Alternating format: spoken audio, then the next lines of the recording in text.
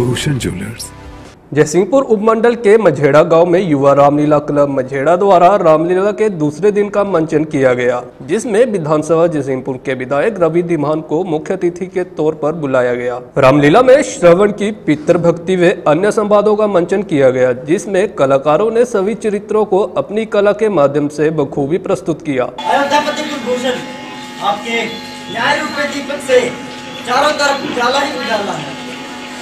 न्याय धर्म ने धर्म के प्रकाश ने न्याय और अत्याचार का नाश कर डाला है। लाओ लाओ उन्हें आदर सहित अंदर लाओ।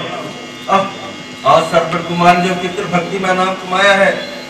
शायद ही ऐसे किसी ने अपने कुल का यश बनाया है।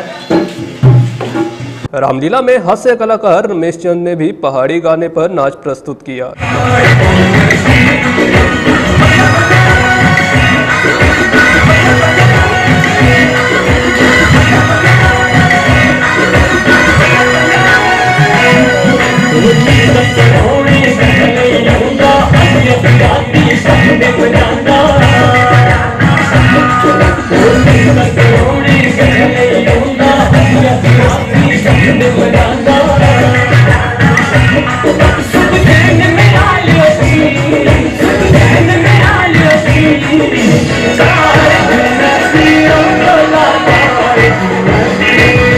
युवा क्लब के सचिव व मंच संचालक ध्रुव देव ने युवा क्लब की ओर से विधायक रवि धीमान के समक्ष रामलीला क्लब के जीर्णोद्धार को लेकर कुछ मांगे भी रखी। विधायक ने युवा क्लब की मांगों को स्वीकार करते हुए आश्वासन दिया कि शीघ्र ही उनकी मांगों को पूरा किया जाएगा। विधायक ने युवा क्लब को इक्कीस सौ नकद राशि भेंट की वे अपनी स्वेच्छा निधि से ग्यारह हज़ार रूपए देने की बात भी कही। दो यही राम कथा का मंचन रामानंद सागर के द्वारा भी टेलीविज़न पर प्रसारित किया गया। साक्षात सब कुछ चीज़ें लगती थी। लेकिन इसी कथा की कशिश आप कह सकते हैं, पावनता आप कह सकते हैं कि आप इतनी संख्या में सब कुछ देख चुके हैं, वर्षों से देखते आए हैं। लेकिन आप घर में आराम से नहीं बैठ सकते, जिन दिनों में इस कथा का मंचन इस मंच से किया जाता है?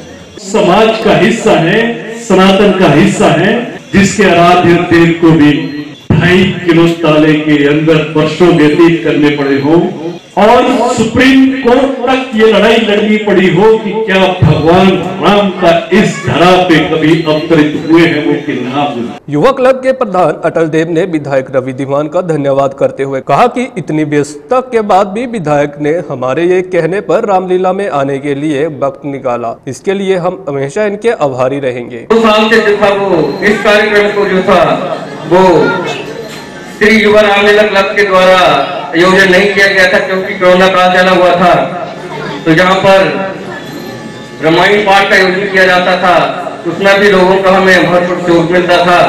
इसके लिए भी मैं सबका बहुत ही धन्यवादी हूँ। साथ ही विशेष तौर पर मुख्य अतिथि जी का मैं धन्यवाद करता हूँ, जिन्होंने हमारे धाम के लिए जो था, वो अस्सी पाइपों का जो था वो प्रावधान करवाया और हमारे जो धाम जो- को जो था वो पानी की व्यवस्था के उपलब्ध करवाई।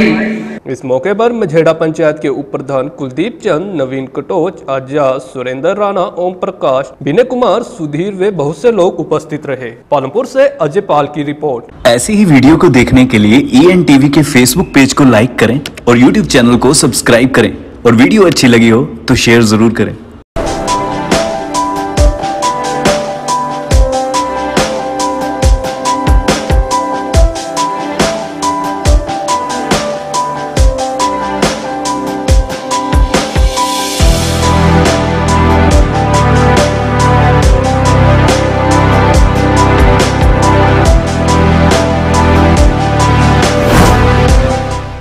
भूषण ज्वेलर्स अनमोल रिश्तों के लिए।